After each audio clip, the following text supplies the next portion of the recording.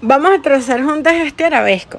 Agarra una cartulina de 9 por 7 centímetros, la posiciona en forma de portarretrato y divides en cuatro partes iguales por el medio, así como te muestro. Después vas a tomar la línea vertical y de la línea horizontal hacia abajo vas a hacer tres marquitas sobre esta línea vertical central, marcando tres líneas con divisiones de un centímetro entre línea y línea. Y después vas a hacer otra línea vertical medio centímetro hacia la derecha y otra línea vertical medio centímetro a la izquierda. Aquí en la parte superior vas a encontrar estos tres puntos y vas a hacer un mini arabesco. Te vas a tener que remontar a las mil y una noche.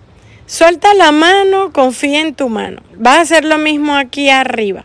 Fíjate que entre una punta, en la punta superior e inferior del arabesco hay uno, dos, tres, cuatro líneas de un centímetro cada una de separación. ¿Ok? El paso número dos va a ser que encuentres estos cuatro puntos. ¿Ves que están, son las intersecciones entre estas líneas verticales paralelas a la línea vertical central y la línea horizontal, una arriba y una abajo de la línea horizontal central. Vas a agarrar el compás, lo vas a anclar en este puntito con la abertura hasta donde terminó el arabesco aquí del lado izquierdo. Y vas a hacer una mini curvita. Eso lo vas a repetir en los otros cuatro puntos así como lo ves.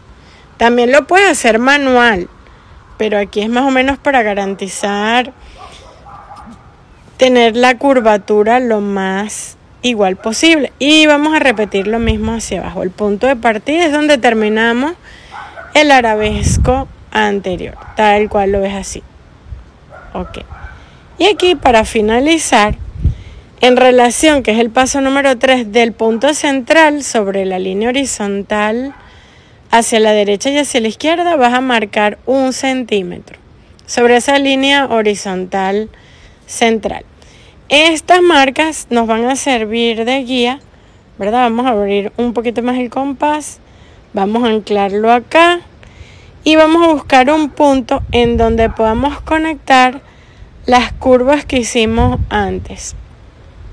Si no te queda 100% perfecto, siempre puedes ajustar un poquito con la mano y repites lo mismo del otro lado. Fíjate, este trazo parece muy complicado, pero con un paso a paso como el del método PIS que es sencillo. Recuerda darle like, seguir el canal y compartir.